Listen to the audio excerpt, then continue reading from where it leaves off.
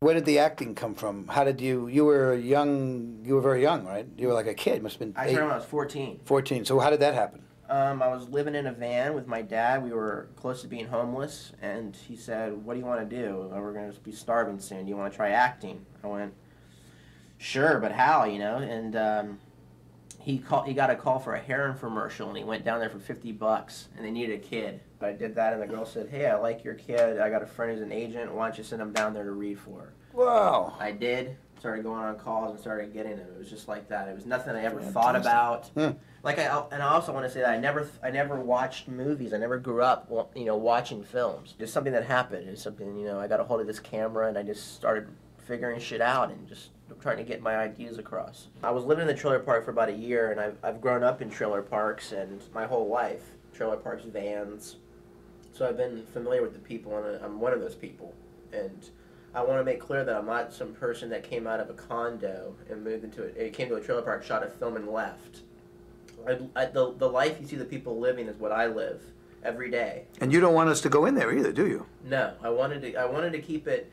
I see it as a holy place. I see it as a place where it's just it's my my studio basically, and my place to create. And I just want people. I just want magical projects to come out of there and and come into people's lives without them. I feel that if they see me sitting in a couch in my trailer, that that works on your brain. If you see the film back, you know you're thinking about me in your head while you're watching the film, and it changes your perspective of of the film. Do you do you like rehearse or do you?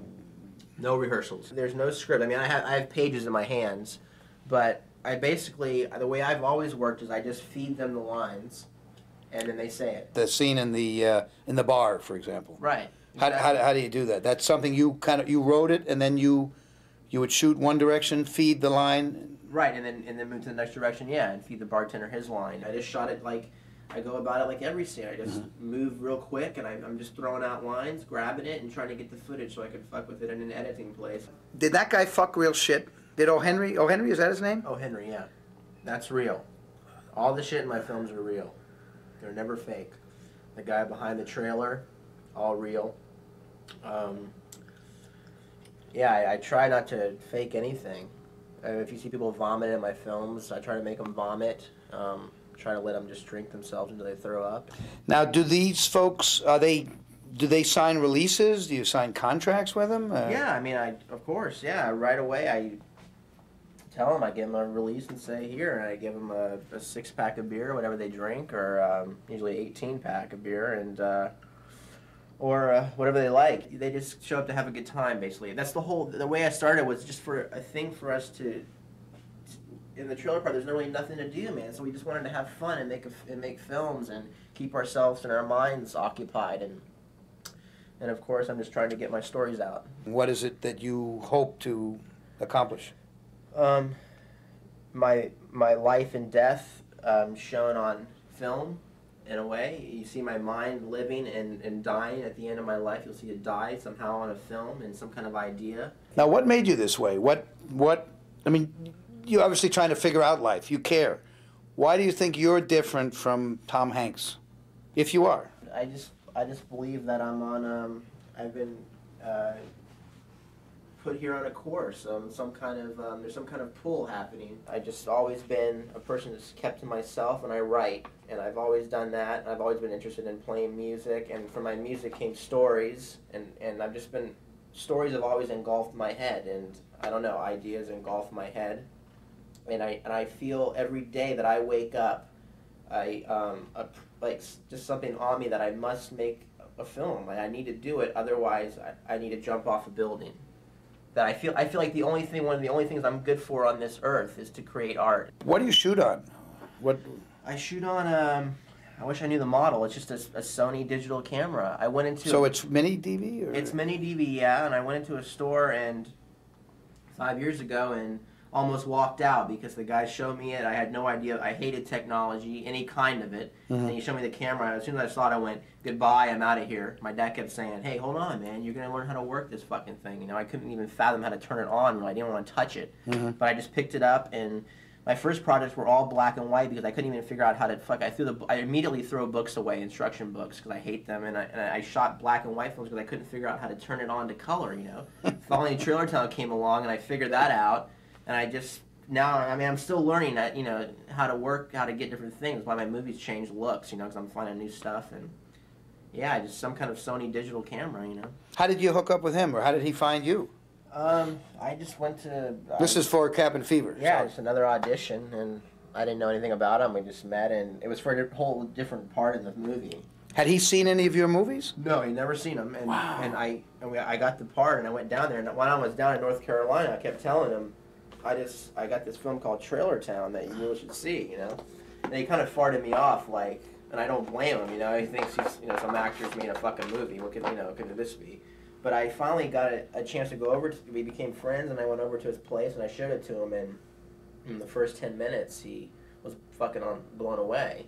He went, "This is a That's masterpiece." great. Yeah, he loved it. yeah, and he, see? and he started pushing it and like showing it wherever he went, you know, to people. And he's the reason I, I met you guys, and I, Wow. yeah, he's the whole reason this movie's coming out. Are there other mainstream people that you've shown your films to? Or you... Well, Adam Rifkin Ah. is a guy that I worked with before I did Detroit Rock City, right, and he produced my first film.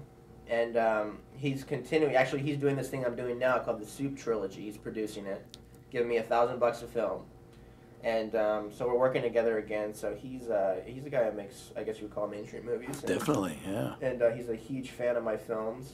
He just did a. He went to Chicago a, a little couple days ago to talk to I guess the film school he went to, and he, he told him if there's one filmmaker to watch out there, it's Giuseppe to check out his movies and just the way he's shooting stuff and working. You know, I think it would help a lot of people who want to make films. It's, Yeah. it's a way to do it. Get hold of some people. Get hold of some, that that simple equipment, cameras, a little editing spot. Get your people together and fucking go for it. You know? Yep, make your own damn movie. Now, when you're editing, what do you use for editing? How do you Final, edit? Final Cut Pro. I edit right in the trailer. I burn the right to DVD, right in the trailer. So everything I do, I got a I got a music little music four track studio set up. I do all the music there, any kind of voiceover shit I need done. Um, and I I shoot them there usually or around the town I live in, and I edit right there in Final Cut Pro and burn it to a DVD, and I got it all right there. You know. Wow. How much did this movie cost? Would you, if you don't mind talking about it? Uh, Trailer Town cost a thousand dollars. so from soup to nuts, from the, from what from what came out of your brain to what we have. A thousand dollars. Wow. And that and that's the way I continue to make films now. All my films cost a thousand bucks. You probably have an enormous crew, right? There must be like. A crew, you mean actors? Well, yeah, your And my whole technicians. crew. I mean, you have such a Technicians, such a big budget. I mean, how My many people? technicians are, you're looking at it. It's me. The, the built in sound I use, I use no boom. I just use the sound of the camera. The directional. Use the thing that's like what I'm doing what now. you're doing right now. Oh, wow. And just boosted the fuck up in Final Cut Pro, and then uh, lighting is all natural, and um, whenever I can get my hands on the room, and that's that's it. But you do things in the editing where you play with the action. I mean, you certainly did it in Dribble, and uh, yeah. Oh sure. Yeah, I use I use shit like that. I'm, I'm I guess my favorites would be slow motion, um, or double timing shit. Like that's what I'm doing a lot now on my stuff. Is I like to double time the images and What have, is double timing? I'm sorry. just speeding up the image to to just doubling it where everything's Oh. hap- if, if, I, if I did this it would happen like this you know Mhm. it happen like people are moving like this where their actions are you know just real Mhm. fast and then and then I dump the, the voices and dialogues over that so they're not really you know they're talking but they're talking and it's all out of whack and like I kind of like that now and I've always liked slow motion and um, uh, stop and go like animation I've used a lot actually. Um, I did a film called Tater Tots where my t- tater tots narrate the story and they dance and one gives the other tater tot gives the other tater tot head and shit in one scene and they and they move like stop and go. And i'm actually now experimenting with doing that with people in my films and um, of course i love subtitling. If trailer town I, I believe is the only american film subtitled in english you know what i mean that is english Yeah, right. You that was quite unique. um, I just that just started because yeah, I, I guess the films that I were watching were like you know I love Fassbinder and I just got used to seeing those subtitles. Something like that got in my head, or I just and yeah, I just I just. So the subtitles are part of the aesthetics. It's not that you were worried that people couldn't understand the dialogue. No, but it, it became. I mean, that became an added bonus that I thought that every fucking line in Trailer Town was something beautiful and poetic and needed to. I- wanted. I didn't want anything to be missed, really. Mm-hmm. So I I thought that it became like it started to, to become a book. That people you're you're reading and seeing this book that's moving and happening. And you're catching everything, you know. You're seeing all because it's a lot of it's poems, and a lot of the people are talking in rhymes Right. which is a big thing that I like. That is a thing that I wish we could all do in our real lives. Is if I came up to you and said, "Hey, Lloyd, I just went down to the corner. I got a, you know, I got a boner, you know, whatever." But any, you know, any kind of, I wish we could talk in like poems and rhymes. I, I find that interesting. Getting back to the, you know, you've had the experience of working on mainstream projects, movies. Have, we, have you learned something from those, or any, or, or That's a, that's a hard one to say. I mean, as far as when I go into a, a shoot that I'm acting in, I immediately, I, that I've always wait. I immediately get to the trailer somewhere that they've given me, and I start writing ideas out. And I I know my shit from I, I look at the shit the night before that I'm supposed to act, Mhm. and I go on the set and I do it, and I just do it in my way. Then I get back to my ideas and I leave.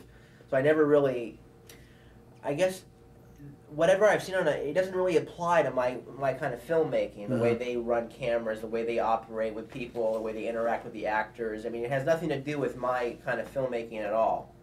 If you're seeing one of my films, you're like I said before, you're seeing a, a life happening and a death happening. You know, I'm, I'm living and dying in these movies. You know what I'm saying? In Sure. a Hollywood film, it's more of like you know we're trying to get a group of people together to make bombs go off and or like you know watch our favorite stars fuck. what if some, if, if, if, uh, you know, you were offered uh, an assignment, you know, Starsky and Hutch, would you do it, uh, um, or Independence Day, Part Six, or something? Right. Would you? Um, boy, I, I I'd have to say no. You know, it depends. If if I could do something like I, if I could write it or something and do something Mhm. that's completely the opposite of what they expected, and that'd be Well, if they, if they gave you total freedom, you, you. yeah, I'd, I'd probably be into that. You'd make a fifty million dollar movie or something. Fucking A. Yeah. Why not? I find everything humorous. I'd like to end up in Mexico doing Mexican soap operas one day. I mean, just different kind of things like that en- en- entertain me, you know. So I like that. So I'm not I'm not closed minded about doing any fucking thing, you know. And what about um, other influences on you? Um, are there artists, another medium? Are there poets? Are there? Um, Well, I have to say now, when I when I first started getting getting aware, like I I never saw any kind of movies until I was seventeen, or was into any kind of reading, or into I, I just really grew up around music. That was kind of the thing that I was aware of. Like I was aware of obscure bands. I would say. Um, then when I started watching films, like I said, Fassbinder was the was the biggest first one for me. A film called I Only Want You to Love Me oh, and it was a phenomenal one. And Querelle was the second one I saw, which is still one of my favorite movies. Um, I love the like the artificialness of the sets and the um, the. He was a big. I, I love the way he his dialogue was. There was always things that you wouldn't normally hear coming out of people's mouths. It was something like it was a new way to talk. Like I was talking about it. That was mm-hmm. interesting. I'm always writing constantly. I never stop. I, I if I could, I would never take breaks. I would just continue a continuous stream of making films. Like my dream was, and I still might do it. I want to do it. Is to go around to every state and make a film in the state and have like a 50 states series. Like make 50 films in one year would be like great for me. That's, that's kind of what I want to do. Within like five years, I want to do that. I like writing. You know, any way I can get that out, whether it's film, through music, through novels. I'm, I'm always doing constantly those three things, and they all kind of just come together. You know.